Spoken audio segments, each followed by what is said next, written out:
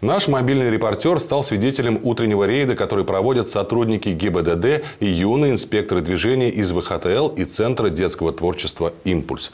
В рамках проведения социальной кампании под названием «Без вас не получится» ими организовано дежурство на нерегулируемом пешеходном переходе, расположенном около детской поликлиники, где в утренние часы дети идут в школу и детский сад. Участники рейда призывали водителей пропускать пешеходов и помогали вместе с зеброй переходить дорогу, а также также вручали листовки с тематикой безопасного поведения на дороге и в автомобиле, в том числе связанной с перевозкой детей. Многие участники дорожного движения не отказались от возможности сделать селфи с главным героем акции – зеброй.